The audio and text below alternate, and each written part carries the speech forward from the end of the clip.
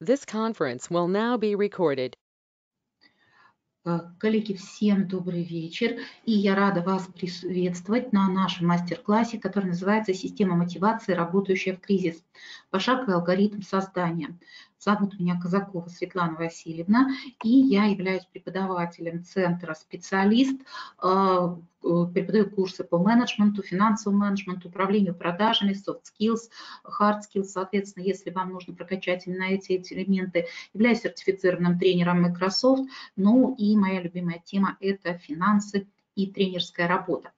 А, соответственно, сегодняшняя тема, она, ее актуальность, думаю, подчеркивать не нужно. Но прежде чем мы к ней перейдем, хочу подчеркнуть, еще раз скажу, что в данном случае этот а, семинар я провожу, этот мастер-класс как преподаватель центра специалист, которому в этом году будет в ноябре уже 30 лет, на сегодняшний день 29 лет уже учим людей. За это время у нас более а, полутора миллионов на сегодняшний день выпускников, более 35 тысяч корпоративных корпоративных клиентов и более тысячи разнообразных курсов. Так как вы все являетесь уже нашими слушателями, то подробнее об этом останавливаться не буду, а перейду ближе к нашей теме. Итак, Тема сегодняшнего мастер-класса – система мотивации, работающей в кризис. Давайте для начала порассуждаем, а для чего вообще нам нужна система мотивации и чем кризисная ситуация отличается от всех других. Уверена, что каждый из вас, э, ну, раз вы записались на этот э, мастер-класс, есть некие наболевшие вопросы. Итак, коллеги, для чего вообще э, вам нужна система мотивации, каких целей, задач вы хотите достигнуть при помощи разработки новой, ну, либо изменения старых систем мотивации? Что не устраивает сегодняшней работе? Да, коллеги, голосом кто-то пытался ответить, не расслышала. Давайте активнее работать в чате, и наша работа будет более продуктивна. Ну что ж, пока ответов нет, но я обязательно зачитаю, как только они появятся. Давайте тогда вот о чем расскажу. На нашем мастер это как составить список KPI, какие факторы при этом учесть, и, соответственно, у вас будет полный пошаговый чек-лист, который вы сможете применить в своей работе. Второй момент. Почему это важно? Дело в том, что неэффективно подобранные системы мотивации могут э, сотрудников демотивировать. Ну, давайте приведу пример. Э, недавно занималась управленческим аудитом в компании. Как директор говорил, трачу огромные деньги на мотивацию, но не работает, результатов нет. Начинаю анализировать, а оказывается, сотрудники получают премию в зависимости от результатов компании. А может отдельно взятый сотрудник повлиять на этот результат. Ну, кроме генерального директора, финансового результата, э, директора больше никто не мог. А, скажем, инженер, э, работник, он не влиял на прибыль компании. Соответственно, эта система мотивации не мотивировала. То есть сотрудники просто, как говорится, работу работали, но не э, учитывали те факторы, которые нужны были компании. Ну и поэтому результаты были ниже. И э, второй момент, а кто может участвовать в создании системы мотивации, кому полезен наш сегодняшний мастер-класс, это руководители структурных подразделений, которые, задача которых мотивировать своих сотрудников. В первую очередь наш мастер-класс нацелен на них. Также это руководители проекта, менеджеры, то есть руководители среднего высшего звена, ну и, конечно же, специалисты HR-отделов, которые участвуют в создании системы мотивации. Ну что ж, не будем лить воду, а перейдем непосредственно к нашему, как говорится, пошаговому алгоритму создания. Коллеги, причем буду давать в презентации алгоритм, а попутно рассказывать, приводить примеры, давать, как говорится, вредные советы, которые, наоборот, не позволят вам создать эффективную, то есть работающую систему мотивации. Итак, посмотрите, на практике сталкиваюсь э, с чем? Что э, когда речь идет о создании системы мотивации, руководство сразу говорит о том, а давайте вот разработаем прем, размеры премий. Начинается обычно с этого. Коллеги, это неверное значение. Прежде чем создавать систему мотивации, любую систему мотивации, систему мотивации, будь то работающую в рамках отдельного проекта, отдела, департамента или целой компании, первое, что мы должны сделать – это проанализировать цель, которая стоит. ну, соответственно, перед компанией, департаментом на соответствие SMART. Если она не соответствует, то необходимо уточнить формулировку. Что такое смарт, коллеги? Это не тема нашего семинара, но я думаю, у всех есть, э, кто-то из вас уже знаком с этой терминологией, кто не знаком, э, Google в помощь, но от себя скажу, что смарт-методология позволяет проанализировать э, цель на наличие пяти аргументов. Цель должна быть конкретна, это S М измеримо, а, выполнимо, а, а, нацелено на достижение конкретного результата и ограничено во времени. Ну, давайте проанализируем, с чего начинается первая ошибка. Первая ошибка начинается с того, что руководитель пытается разработать систему мотивации для цели. Например, повысить эффективность подразделения. Ну, в данном случае эта вот цель была для подразделения сервисной поддержки. Коллеги, у кого-то включен микрофон, а поэтому у всех страшно фонит. Пожалуйста, отключите микрофоны.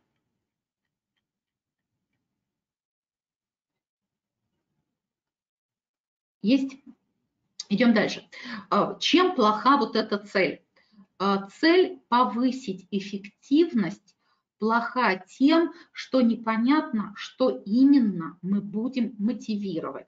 И, соответственно, тогда руководитель, разрабатывая систему мотивации, он говорит, ну вот если выполните план, который стал больше, до этого был, но если это сервисная поддержка, ну, предположим, там 100 а, заявок отработать, а теперь вот станет 120, вот если выполните, получите премию.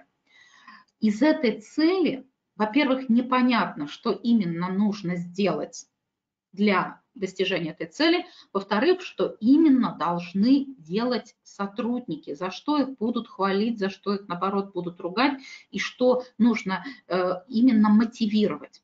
Соответственно, если мы анализируем вот эту цель на соответствие методологии SMART, то на выходе она может выглядеть, э, например, вот таким образом.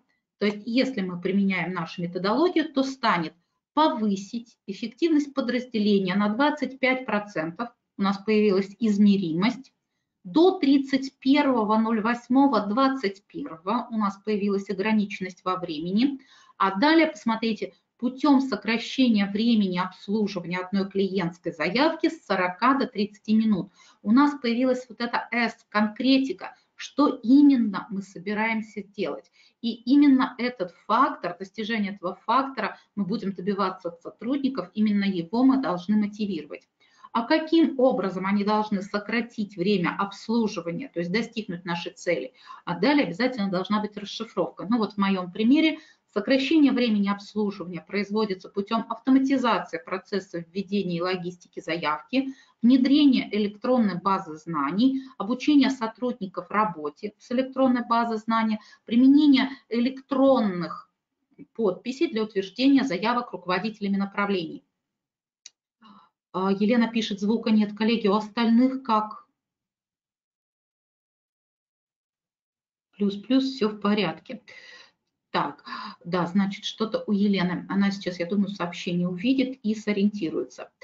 То есть, коллеги, любая система, мотив... создание любой системы мотивации начинается с того, что вы должны проанализировать поставленную цель, которую вы хотите достигнуть.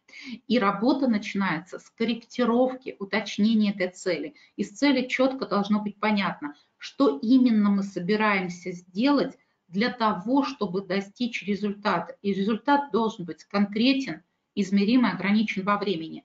Не просто повысить эффективность, тогда непонятно, что именно для повышения этой эффективности делать надо. То ли после работы задерживаться на 2 часа, то ли на выходные работу брать. А вот теперь, когда мы видим вот такую цель, мы четко понимаем критерии достижения этой цели. Итак, первый шаг – проанализировать цель, стоящую перед тем, подразделением, систему мотивации которого вы собираетесь разработать, на соответствие SMART. Если она не соответствует, она имеется в виду поставленная цель, уточните формулировку. Только после этого мы можем с вами приступать к работе над созданием системы мотивации. Коллеги, по первому шагу есть ли вопросы? Все ли понятно? То есть цель обязательно должна быть конкретная. И, соответственно, смарт, то есть конкретно, измеримо, ориентирован на конечный результат, ограничен во времени. Все понятно. Итак, цель сформулировали. Далее приступаем ко второму шагу. И многие на нем, собственно говоря, зачастую засыпаются. А это на самом деле не так сложно, как может показаться на первый взгляд. Э, либо пропускают его. Второй шаг для создания эффективной системы мотивации нам необходимо описать бизнес-процессы, приводящие к достижению цели. А при помощи любой из известных вам нотаций, коллеги, современных нотаций, описания бизнес-процесса, их уже более трех десятков, а, какую вы будете использовать, значение не имеет. Моя личная точка зрения и при наборе персонала, когда выступаю консультантом, всегда обращаю на это внимание, что руководитель любого уровня, как среднего, так и высшего звена, руководитель проекта, руководитель подразделения обязательно должен владеть одной из нотаций описания бизнес-процессов. Иначе у него не получится организовать работу, формализовать, ну и в том числе создавать систему мотивации. А, рекомендовать какие-то конкретные нотации не буду, это все на ваше усмотрение, любая нотация, с которой вы знакомы.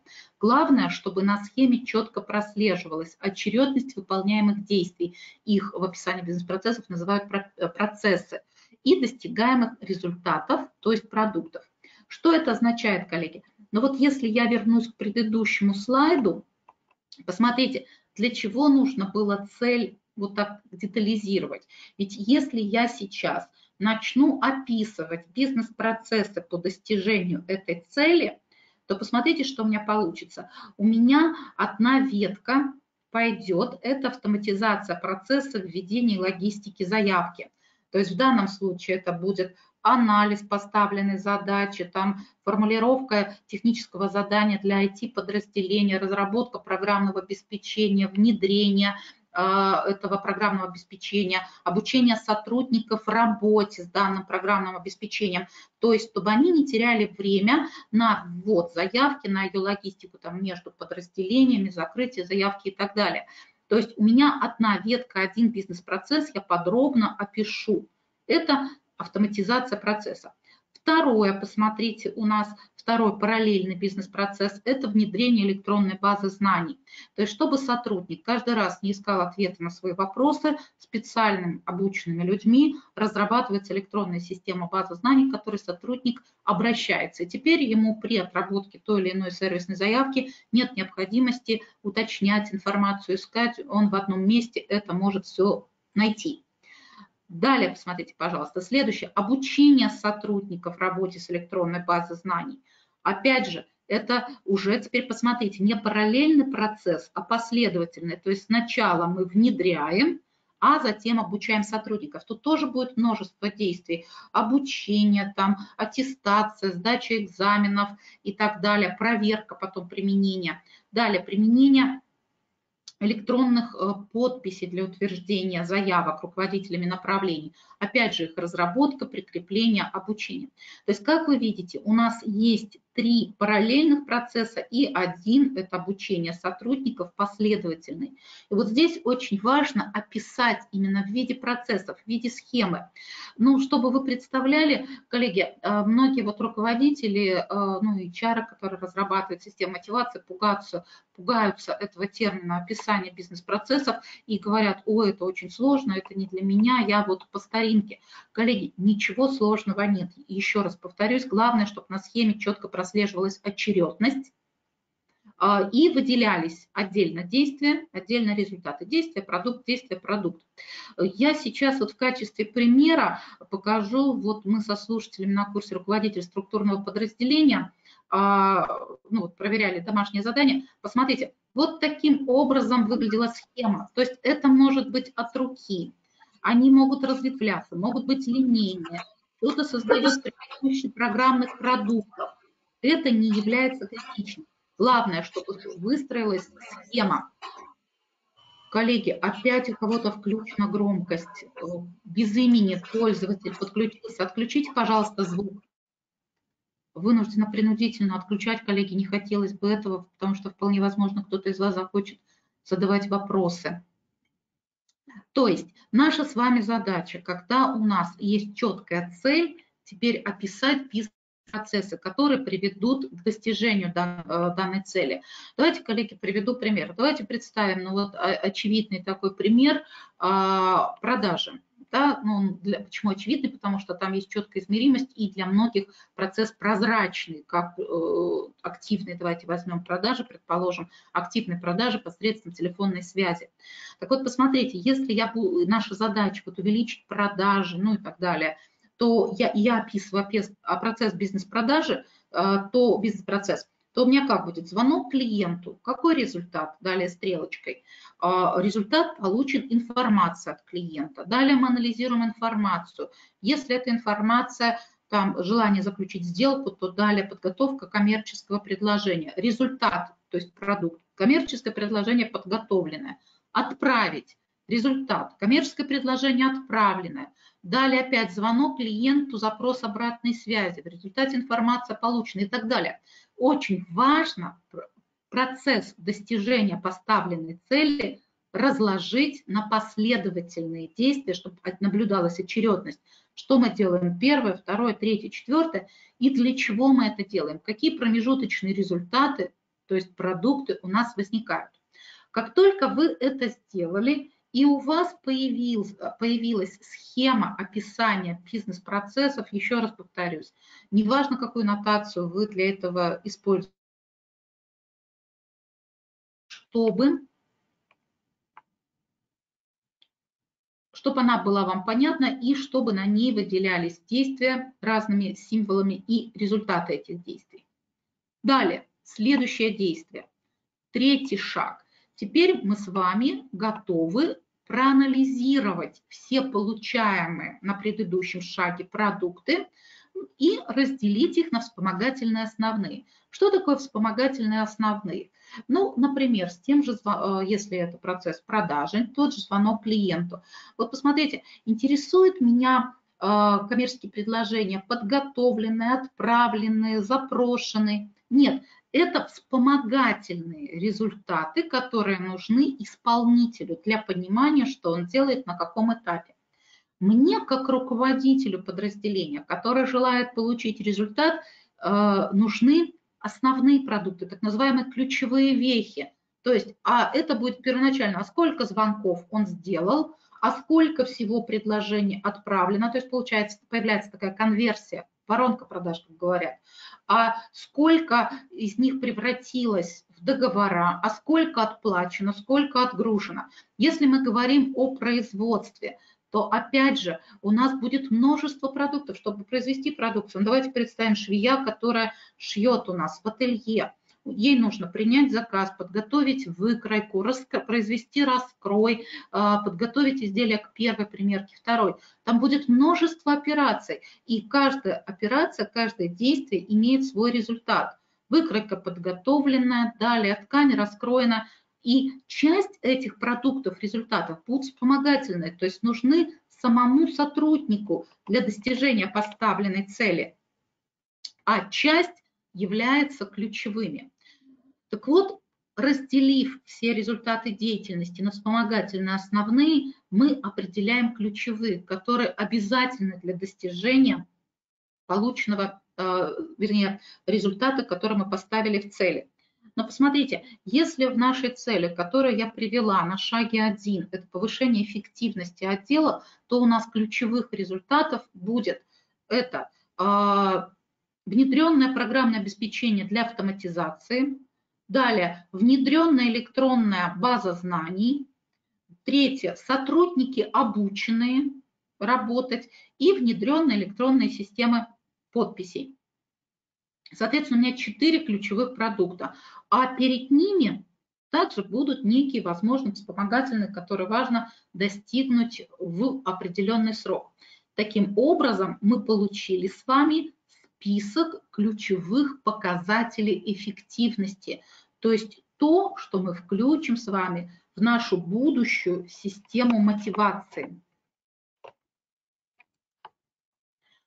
Итак, список есть. Коллеги, шаги, шаги 2-3. Есть ли вопросы? Цель поставили, сформулировали на первом шаге, на втором описали бизнес-процессы, выделив действия и продукты, которые приведут нас к достижению поставленной цели.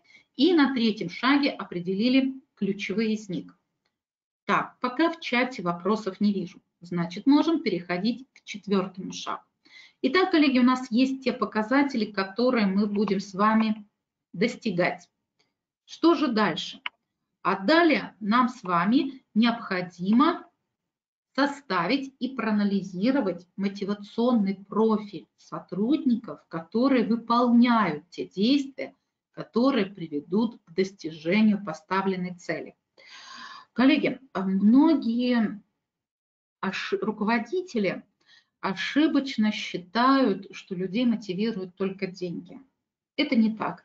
Деньги – это важная составляющая жизни каждого из них, но при этом, когда речь идет о мотивации, а что заставляет сотрудника быть лояльным в той или иной компании, что заставляет его работать больше, ответственнее, менять свой привычный э, день работы, работать не так, как он работал дальше, факторов, мотивационных факторов намного больше. И э, для того, чтобы ваша система мотивации работала, нужно, чтобы создаваемая система мотивации учитывала мотивационный профиль.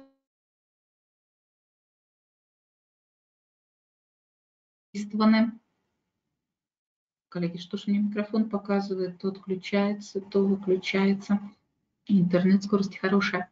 Так вот, я повторю тогда последнюю мысль. Очень важно, чтобы будущая система мотивации учитывала те факторы, которые действительно мотивируют сотрудников. А, опять же, каким образом вы эти факторы выявите, тут HR вам в помощь, HR хорошо знают а, мотивационные факторы. От себя а, порекомендую систему мотивации, которая, ну не система мотивации, а 12-факторную модель мотивации. И вот э, пример я привожу, это мотивационный профиль конкретного сотрудника. В чем суть данной системы мотивации?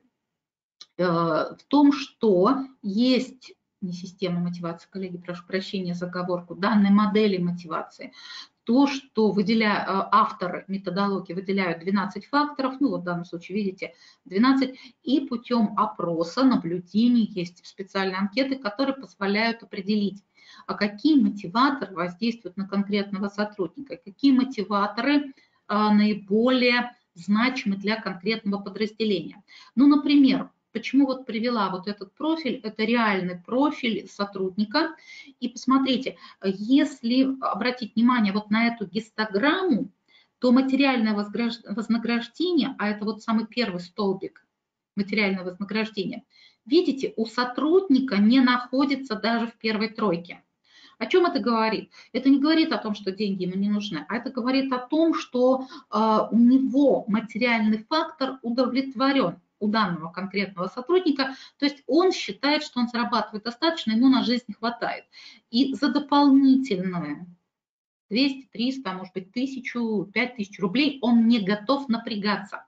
А, при этом на первом месте, посмотрите, у него сейчас вот самый большой столбик, это самосовершенствование, причем с большим отрывом. Ну и далее вот уже со стрела стремление к достижениям, структурирование. То есть сотрудник хочет развиваться, расти, при этом ему нужно структурирование, чтобы ему четко сказали, что для этого нужно сделать. И вот этого сотрудника э, деньгами, или вот посмотрите, взаимоотношения, то есть это на последнем месте вообще. То есть человеческий фактор для него, там дружба, чувство долга, патриотизм, да, спасем нашу компанию, на этого сотрудника не повлияет вообще.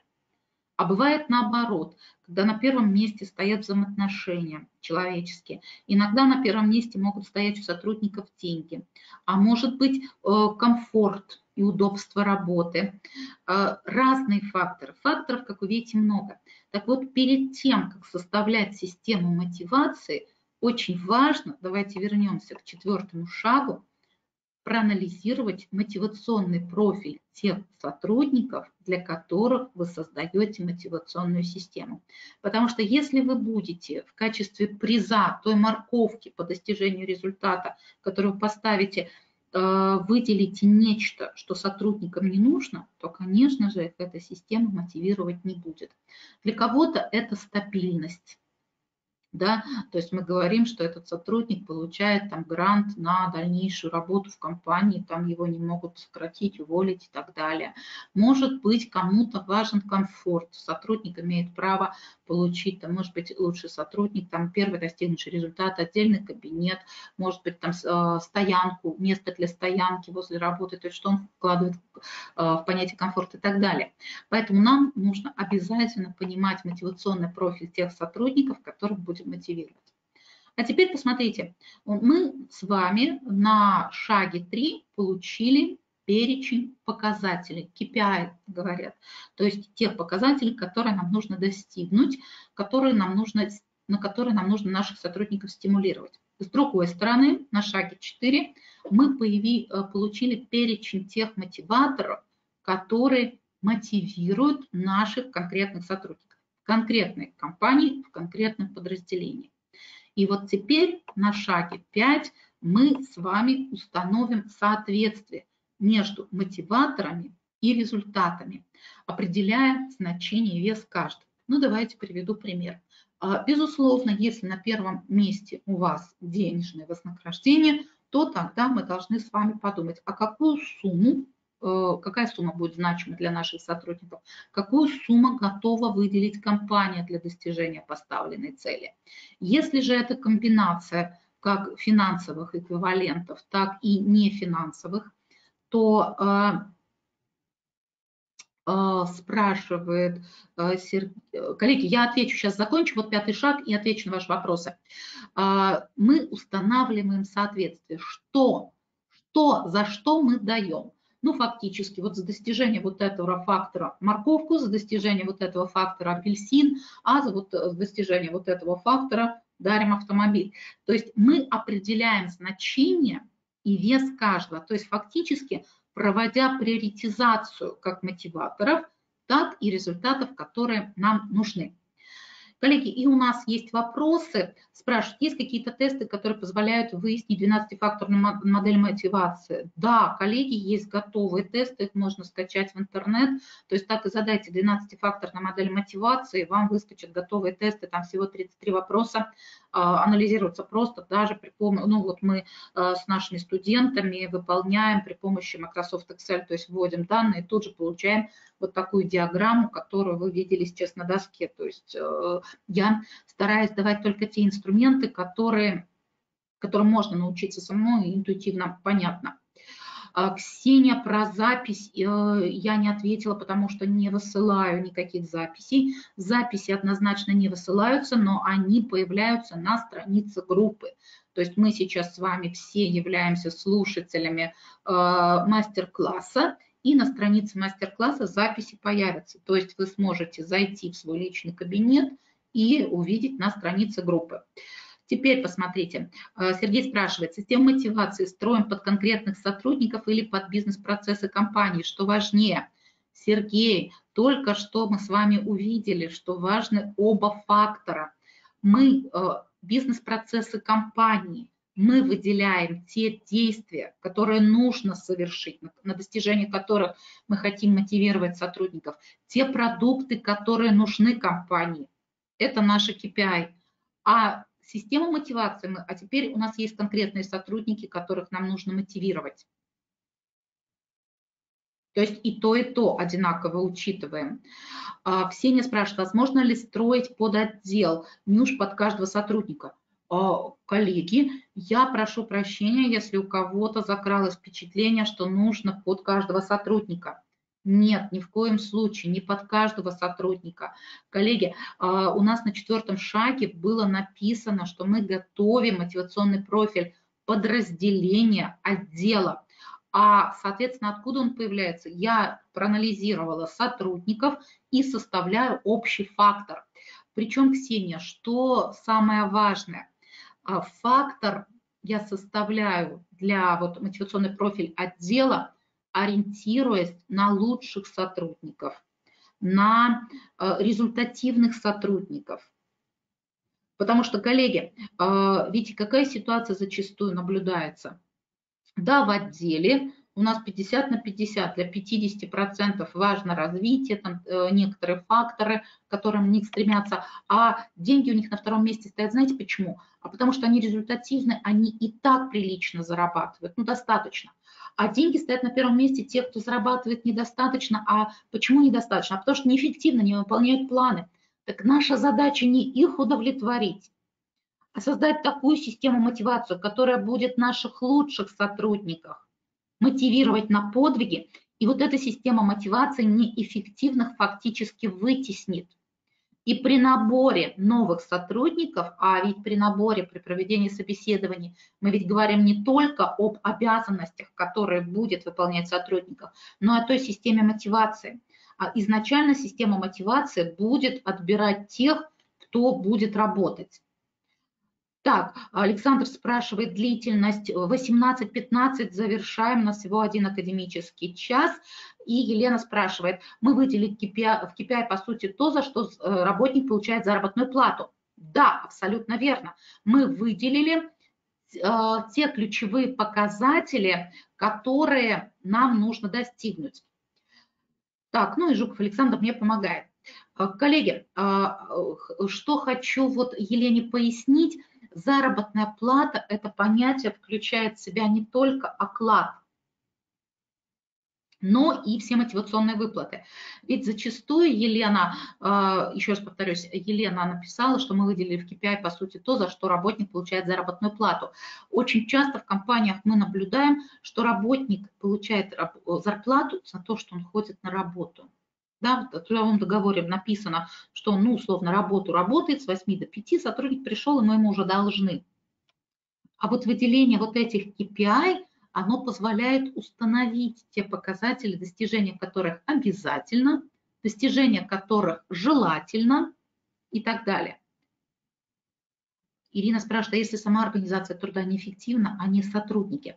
Ирина, мы сейчас говорим о создании системы мотивации, анализ организации труда. Тема интересная, но, к сожалению, эта тема будет другого мастер-класса. Итак, коллеги, чтобы мы все успели, мы установили соответствие между теми мотиваторами, которые есть у тех исполнителей, которые будут задействованы в бизнес-процессе, и KPI, э, те, которые мы хотим достичь. А вот теперь посмотрите, пожалуйста, самое сложное. Нам необходимо определить зависимости между показателями системы мотивации. И вот эти зависимости между показателями, они могут быть в виде различных операций. Самое простое и часто встречающееся, но не всегда, коллеги, эффективное – это сумма. Давайте я вам приведу пример. Ну вот представьте, у того же самого отдела продаж я выделила несколько KPI, да, количество звонков в день, там э, соблюдение э, качественных критериев переговоров, там э, выполнение плана по подписанным договорам, ну и далее сам план продаж.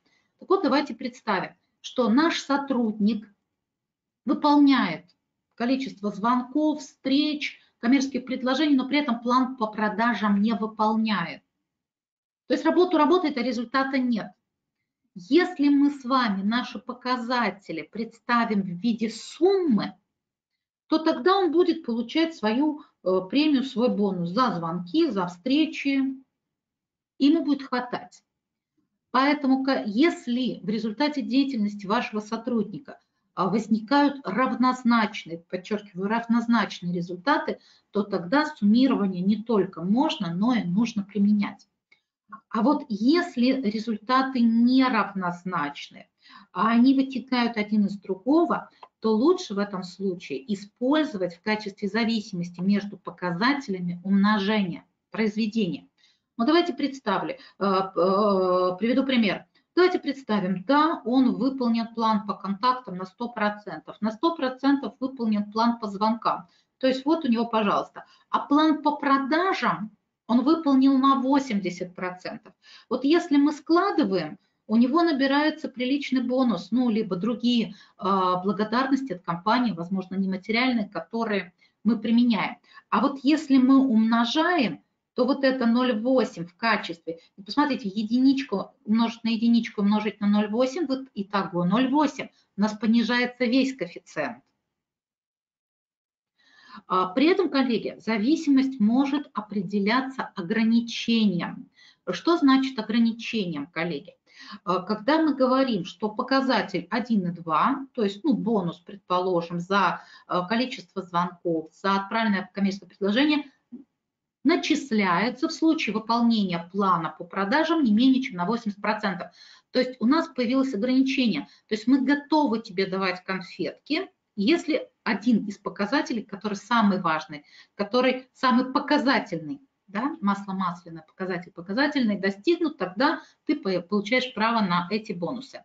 Если же нет, то, соответственно, они не начисляются. Вот это называется ограничение для других показателей. Ну и, возможно, различные комбинированные варианты, когда мы говорим, вот этот показатель суммируется, но, предположим, вы можете установить доплаты за повышение квалификации, он не умножается на другие показатели, за выполнение определенных нормативов, за там, за то, что сотрудник выносит предложения по оптимизации. Пожалуйста, они суммируются, а есть показатели, которые будут умножаться либо выступать с ограничением, то есть всевозможные комбинированные варианты. Поэтому на шестом шаге имея и установив взаимосвязи между показателями KPI и мотивационными факторами, мы определяем между ними конкретные зависимости. И у нас есть вопрос от Ксении. Если сейчас сотрудники получают оклад, как обосновать и грамотно перевести людей с оклада на KPI, чтобы сотрудники не испытывали страхов и стрессов? А, Ксения, по окончании э, нашего мастер-класса отвечу на этот вопрос. Да, хорошо. Далее, коллеги, следующий шаг. А, так, а у меня опечатка, да, шестой шаг, седьмой шаг. Конечно же, коллеги, я поправлю, когда буду презентацию выкладывать на страницу группы. А, так, это мы у нас, это мы разобрали, шестой. И, соответственно, седьмой шаг – нам нужно разработать мотивационное положение теперь. То есть э, все, вот все наши идеи, которые мы сейчас оформили на первых шести шагах, так как мы работаем в организации, мы же не по понятиям, то есть по обещаниям, а вот я сделаю или не сделаю, появляется документ. Так вот, с учетом всего вышесказанного, нам нужно разработать мотивационное положение как документ, в котором четко будет прописано как показатели достижения, так и формулы расчетов. Либо мы его разрабатываем, если у вас уже есть работающее, как вот в случае с Ксенией, то мы вносим изменения в существующее. И обязательно нужно довести до сведения сотрудников, которых это мотивационное положение коснется. При этом, коллеги, из рекомендаций, посмотрите, оставила в этом пункте, не жалейте время на разъяснение, как сотрудник сможет заработать больше благ тех вот своих мотиваторов при помощи новой системы мотивации. Потому что зачастую система мотивации не работает, потому что сотрудник не понимает, а что он должен сделать, чтобы получить тот или иной бонус а какой э, размер бонуса именно будет. На самом деле проверить, э, эффективно ли ваше положение, достаточно ли оно э, корректно написано, очень простым вопросом. Попросите сотрудника проанализировать предыдущий месяц своей работы, достигнутые результаты и пересчитать на новую систему мотивации. То есть, а какие бы бонусы он получил. Если сотрудник готов это сделать, значит, ему все понятно. Если он затрудняется, поясните ему, э, соберите свой отдел и э, проговорите, проведите совещание, что, коллеги, давайте представим, что наша система мотивации, которую мы сейчас внедряем, э, у нас действовала бы не вот с 1 августа, а с 1 апреля. Тогда посмотрите, в апреле, в мае, в июне нами были достигнуты вот такие-то результаты. Тогда вот таким бы образом выглядела наша система вознаграждений, бонусов и так далее.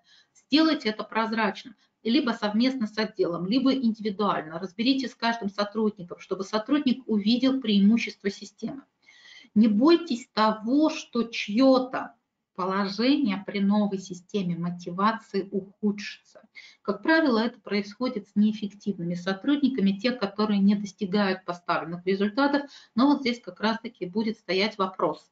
Подожди, а ты собираешься дальше сидеть или работать?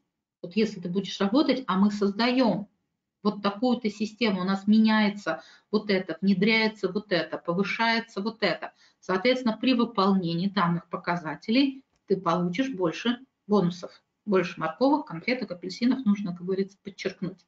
Поэтому обязательно э, разъясняйте. Ну и, соответственно, восьмым шагом обязательно установите тестовый период.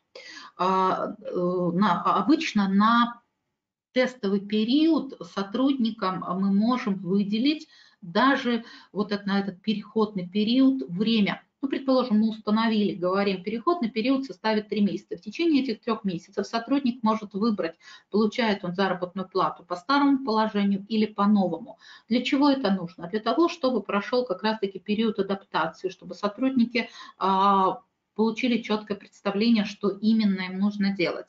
Обязательно анализируйте постав... Э, полученные результаты, выделяйте лучших, анализируйте их опыт, что именно они делали, что вызвало отклонение, причем как в лучшую сторону, так и в худшую.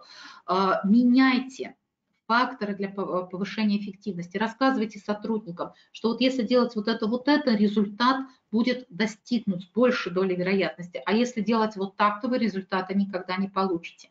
Помогайте своим сотрудникам. И вы получите работающую систему мотивации. Ну, вот здесь, я думаю, возникнет э, как раз-таки вопрос, а что же кризис? Да, ведь у нас в заголовке есть с вами э, слово кризис, система мотивации, работающий кризис. Коллеги, вот те ситуации, с которыми мы столкнулись с вами сейчас, ну, либо компании сталкивались ранее на разных периодах своей работы, где-то кризисом стало повышение конкуренции, где-то уменьшение рынка, где-то необходимость перепрофилироваться, и на всех нас наложила, э, наложил отпечаток э, тем эпидемиологической ситуации, которая есть в стране и в мире. Коллеги, когда мы разрабатываем систему мотивации вот, э, в кризисной для компании обстановки, ко всему вышеперечисленному необходимо учесть еще несколько факторов. А именно, больше внимания необходимо уделять промежуточным результатам. А что я имею в виду, коллеги? Если когда компания работает планово, у нас все хорошо, все ровно, я могу мотивировать только конечный результат. Почему? Потому что в плановом режиме мы можем контролировать работу, ну если я руководитель подразделения, работу своего сотрудника, я могу уделить ему время, скорректировать. Более того, когда мы работаем в стандартном периоде, отклонения допустимы, они не станут для компании роковыми, не приведут ее к разорению. В кризис же ситуация меняется, и малейшее отклонение – зачастую невыполнение плана может привести компанию к точке безубыточности. Это первый момент, поэтому четко мне нужно быть уверенным не только, что я в конце месяца получу результат, ведь мы с вами все понимаем, не появляется результат из ниоткуда. До этого должны появиться промежуточные результаты. Но в случае с теми же продажами, чтобы получить в конце месяца план, выполненный план, план продаж, ну, условные 10 миллионов, я должна иметь на определенную дату определенное количество звонков ежедневно, подписанных договоров еженедельно, отгрузок еженедельно. Потому что если нет этого промежуточного результата, гадалки ходить не надо, к концу месяца, квартала, года они не появятся. Их просто не будет. Поэтому больше время мы уделяем внимание промежуточным результатам. Вторая необходимость во внимании к промежуточным результатам связана с тем, что наши многие сотрудники сейчас – Э, переведены на удаленную работу. И если э, в очной работе мы могли зрительно проконтролировать, то сотрудника на удаленной работе, насколько он активно или неактивно работает, не всегда есть возможность проконтролировать. Так вот, введение промежуточных результатов в систему мотивации, необходимость ежедневных, еженедельных результатов, отчетов о них повышает ответственность ну и мотивирует сотрудника не откладывать операционную работу на потом. Далее, не забывайте о показателях стабильности работы. Коллеги, для многих сотрудников это становится важно, и для компаний. Нам важно не только сейчас, здесь сейчас выполнить некоторый проект, но и сделать себе запас на будущее. Поэтому в систему, как раз-таки в кризисной ситуации, как правило, начинают оцениваться не только достигнутые результаты, но и наработки на будущий результат. Да, а сколько у тебя есть договоров на будущее у продажников, а сколько у вас незавершенного производства в производстве, а сколько у вас несданных объектов, но уже частично построенных строительствах и так далее. То есть те показатели, которые гарантируют компании результат не только сегодня, но и завтра, послезавтра, через месяц, квартал, год. Ну и, конечно же, коллеги, когда мы говорим о кризисных ситуациях, а, о а, удаленной работе, э, рекомендую добавлять в систему мотивации фактор дисциплинированности – а это и время работы, и своевременное подключение, и скорость ответа на запросы, э, будь то внутренних пользователей, внешних пользователей. Э, соответственно, для систем мотивации, создающихся в кризис, необходимо учитывать промежуточные результаты, стабильность и фактор дисциплинированности. Коллеги, 8 шагов. На первый взгляд они простые, но поверьте мне, реализация каждого из них потребует от вас времени, усилий и знаний. Если у вас по этим шагам есть вопросы, то я с удовольствием отвечу, самое время их написать. А я в завершение нашего мастер-класса хотела бы э, пару минут, действительно пару минут уделить внимание, э, как говорится, рекламная пауза. Э, и в рамках рекламной паузы о чем скажу? полностью изучить вот ту тему, которую мы сегодня с вами подняли, мы можем на курсе руководитель структурного подразделения. Там мы будем и учиться говорить о бизнес-процессах, и о системе мотивации, и наших сотрудников, и о их создании. То есть эта тема полностью. Э, ближайшая группа стартует уже 26 июля. Если же ваша задача освоить более узкие участки, ну, например, да, вы знаете уже о мотиваторах, да, вы умеете ставить цель по SMART, но при этом э, ваша точка роста – это писание бизнес-процессов, а у нас второй шаг, нужно писать бизнес-процессы, то обратите внимание на курс «Основы бизнес-анализа». Ближайшая группа стартует уже 25 июля, в следующее воскресенье, это воскресная группа, у меня открытое обучение. Мы с вами научимся э, именно анализировать и описывать бизнес-процессы.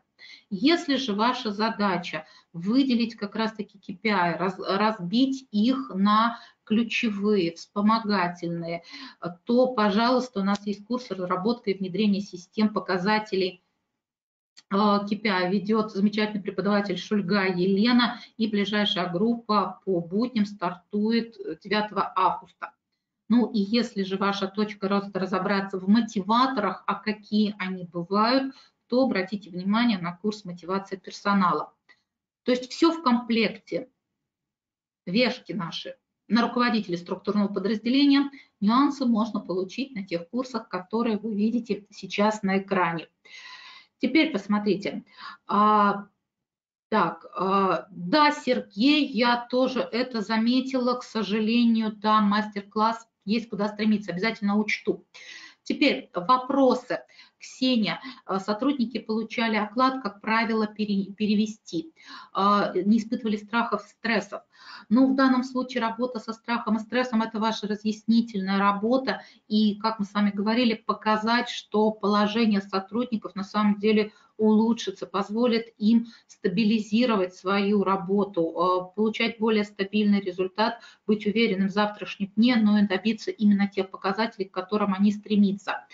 А также Ксения спрашивает, был ли у вас опыт построения KPI для арт-студии? Мы не можем сдвинуться с места, провели опросы, все говорят, что это невозможно, но скорее не хотят просто. Но мы застряли на арт-отделе. Продажи предельно понятно, маркетинг понятно, а дизайнеры проблема. А на самом деле именно с арт-студией, Ксения, лично у меня опыта не было, но при этом с творческими э, лабораториями работали, работали и решения есть всегда. На странице группы будет, а, будут контакты, пожалуйста, будем ждать вас. Коллеги, есть ли еще вопросы, которые вы хотели бы задать?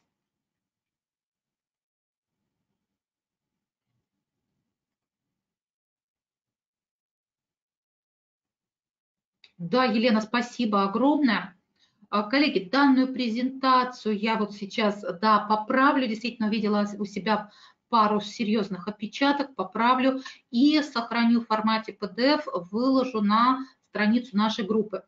Коллеги, ну а для тех, кто еще не отключился, э, частые вопросы, очень часто спрашивают, чем отличаются форматы обучения. И давайте буквально один слайд, э, потому что при выборе важно ошибиться не только, не ошибиться не только с курсом, но и с форматом обучения. Смотрите, у нас есть очное обучение, и это обучение э, подходит тем, для кого важно именно динамика, живое общение. Есть слушатели-экстраверты, которым э, нужна именно вот динамика группы, возможность общения с преподавателем, именно контроль со стороны преподавателя. Тогда, да, выбирайте очное обучение.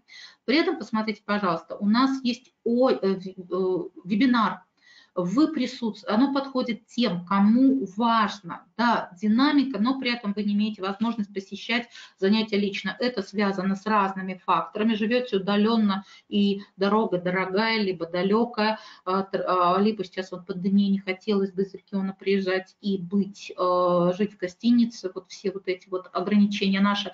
Пожалуйста, вы можете онлайн присутствовать на вебинаре. То есть вы подключаетесь, также видите группу, также участвуете дискуссиях и отслеживаете всю динамику, но при этом вы находитесь у себя дома либо на работе. Очно-заочное обучение, пожалуйста, вы э, самостоятельно просматриваете видеозаписи занятия, но в указанные дни подключаетесь очно либо на вебинар и общаетесь в живом общении с преподавателем, разбирая практикумы, тесты, домашние работы. Открытое обучение. Вы смотрите видеозаписи, очных занятий по общению не предусмотрено, но при этом, определяя темп, вы можете задавать в течение времени расписания вопросы преподавателю, будь то очно, будь то э, по вебинару. Фактически вот такое индивидуальное. И у нас есть индивидуальный формат обучения, когда вы можете заказать э, его, и преподаватель работает только с вами. Так, а, Прусакова Наталья, посоветуете. Э, да, а, Наталья, на самом деле MBA э, сейчас очень много, и их достаточно много приличного. Я как финансист, у меня, соответственно, финансовый менеджмент, то есть финансовое планирование. Поэтому у меня финансовый. Э, Все зависит от того, какую цель вы перед собой ставите. Коллеги, так как далее идут уже ответы на личные вопросы, запись вебинара по теме создания системы мотивации я завершаю. Будем рады видеть вас среди наших слушателей, а я продолжу общение в чате со слушателями, у которых остались дополнительные вопросы.